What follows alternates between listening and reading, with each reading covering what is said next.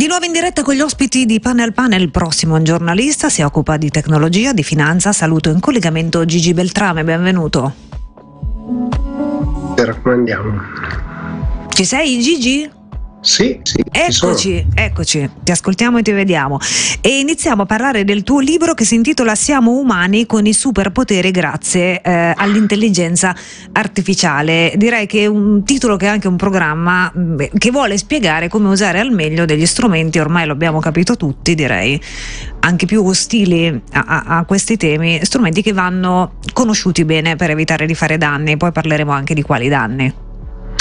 Eh, ma sai, il mio, il mio, punto di vista è molto semplice, cerco di raccontare nel modo più semplice possibile che abbiamo un nuovo strumento digitale che ci è a fianco. No? Abbiamo imparato che abbiamo uno smartphone, abbiamo imparato che abbiamo Excel che ci aiuta a fare i calcoli e quindi è arrivata l'intelligenza artificiale generativa che se da un lato spaventa, e sicuramente spaventa, se usata in un certo modo può essere di grande aiuto, toglie il problema del foglio bianco, ci aiuta a creare insomma eh, delle situazioni, a rispondere delle domande cerca per noi le cose su internet e quindi è certamente vantaggioso, però quello che a me interessava era raccontarlo alle aziende, quindi fare in modo che insomma le persone possano capire come lavorare meglio e non avere paura del, dell'oggetto eh, dell'intelligenza artificiale in sé, ma sfruttarlo perché altrimenti insomma si viene totalmente sopraffatti.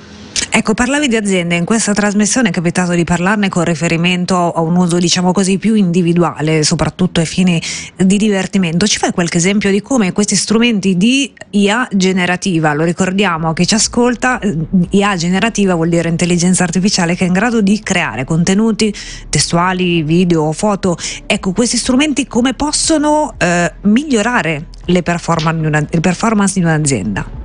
Ah, di un'azienda ma anche di una persona, eh, perché poi alla fine sono le persone che lavorano all'interno delle aziende. Allora, l'esempio più semplice è rispondere alle mail, no? E quindi spesso abbiamo delle difficoltà magari a rispondere ad una mail, l'intelligenza artificiale ci può iniziare ad impostare il messaggio, ma non solo, può leggere la conversazione che magari noi due abbiamo avuto di business e ci fa un riassunto che ci permette di capire meglio qual è il problema, di che cosa stavamo parlando. No? Quindi ci agevola sotto questo aspetto, questa è la parte diciamo banale. La parte più che altro creativa ovviamente sulle immagini, abbiamo visto tutti insomma, le immagini di Papa Francesco con quel grosso piumino e, e, e quello ci ha spaventato no? perché è stata creata da un'intelligenza artificiale ma sembra reale. Ecco, sotto questo aspetto noi possiamo creare immagini per qualsiasi tipo di cosa, basta fare la domanda giusta perché ecco, il cambiamento di paradigma con l'interazione con le macchine, con i computer è proprio questo, dobbiamo porre noi le domande e ovviamente la macchina ci risponde. La macchina non sa non conosce tutto, ha una grande libreria di dati, ma ci risponde in base a che cosa? Ha delle probabilità, quindi ci fornisce la risposta più probabile. Quindi quell'immagine di Papa Francesco col piumino, perché avevamo fatto la domanda, faccio un'immagine di, di Papa con un piumino al freddo, eh, possibilmente molto, molto voluminoso e che sta guardando lontano e ci aveva creato quell'immagine che immagino che quasi tutti insomma, abbiate abbastanza in mente, ma la stessa cosa vale, creami un'immagine un'immagine di sfondo per un prodotto che sto lanciando, creami un'immagine che mi possa servire per la festa di mio figlio, piuttosto che creami gli inviti per la festa di mio figlio. Questo è il modo con cui lavoriamo, ovviamente ci permette di programmare, l'intelligenza artificiale è molto brava a programmare in qualsiasi linguaggio, eh, ci permette di fare insomma una serie di cose che eh, per noi umani servirebbe tanto tempo. No? Eh, io faccio sempre questo piccolo esempio e così ti rubo un minuto. Quanto tempo impieghiamo noi per leggere un libro di 500 pagine e quanto tempo ci impiega una macchina a leggere? Quindi pochi secondi a diverse ore. Ok, il problema è che noi non ci ricordiamo tutte quelle 500 pagine, la macchina sì. Quindi la differenza sostanziale è quella. Ha capito? Probabilmente la macchina no, ma se fa una risposta in base alle probabilità le nozioni lui le ha prese tutte, noi facciamo un pochino più di fatica. Io direi Caro Gigi, certamente la macchina non ha capito perché ci sono fior fior di scienziati cognitivisti che stanno dicendo non usate tutti questi termini umanizzanti no? quando si parla di software e di programmi, però volevo anche farti una riflessione diciamo così poco tecnica e molto più generale. Eh, mano a mano che si automatizzano i processi in un'azienda e quindi so, si dà la possibilità ai lavoratori di usare software come ChatGPT, ma Bard, Bing, Copilot di Microsoft eccetera eccetera eccetera, diciamo che si riduce lo spazio di espressione anche di capacità del lavoratore, no? Quindi in qualche modo l'azienda non rischia secondo te di perdere anche eh, quel positivo che nasce dalla contaminazione di competenze, nel senso quando si fanno le riunioni si parla con i colleghi, nascono idee, eh, si creano scintille che portano a risultati che magari da soli non si sarebbero raggiunti. Ma guarda, te lo, te lo, spiego molto semplicemente perché proprio vado a raccontare questo.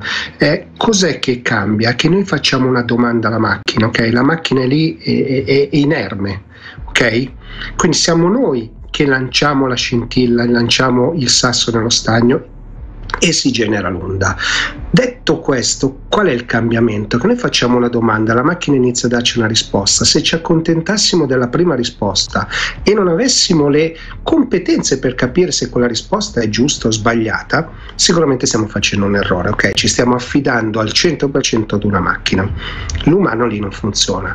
Dov'è che funziona questo meccanismo e perché abbiamo i superpoteri? Perché noi possiamo interagire continuamente con quella macchina per affinare quell'idea che ci ha proposto, che magari dici guarda è sbagliata, per esempio magari nell'intervento di stasera qui con te potevo dirmi dammi cinque titoli per un post che posso fare magari sui social e lui me li propone. Non sono precisi, io inizio a interagire con questi post e da lì nasce la mia creatività che è aiutata da queste macchine. Questa è la grossa differenza. Fino adesso siamo ancora in questo campo, dobbiamo vigilare affinché insomma non demandiamo e non ci affidiamo alla prima domanda eh, è alla prima risposta tutto quanto. Questa è il, la grande innovazione su cui dobbiamo vigilare, ripeto, è l'interazione che, dà, che fa la differenza. Ma mi piace parlare di questi argomenti perché possono coesistere tanti punti di vista ed essere veri contemporaneamente, perché laddove tu vedi uno stimolo alla creatività, io vedo un grande rischio di eterodirezione, no? Ad esempio. E invece ti riporto ai giorni nostri perché? Perché giovedì scorso Microsoft ha cambiato alcuni termini della sua policy d'uso per i clienti business. Allora spieghiamo, cerchiamo anche qui di essere comprensibili, lo dico in primis a me stessa. Microsoft ha creato Copilot, che è un super mega assistente virtuale di intelligenza artificiale che fa cose straordinarie, cioè evita, come diceva Gigi, di farci leggere 300 pagine, le riassume, poi se vogliamo ce le ritrasforma in altre slide, in un report, in un documento, ascolta le call, ci fa le sintesi delle riunioni, eccetera, eccetera.